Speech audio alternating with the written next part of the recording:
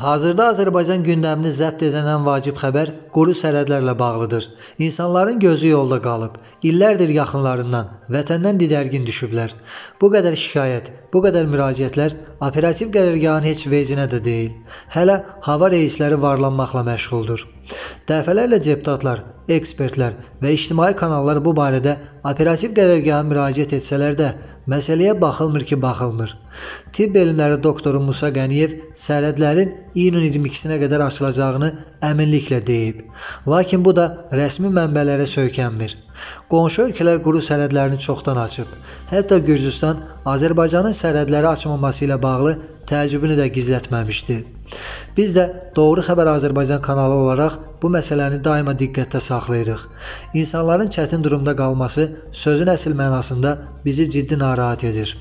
İnanaq ki, operativ qərargah bu ay ərzində insafa gəlib quru sərhədləri açacaq.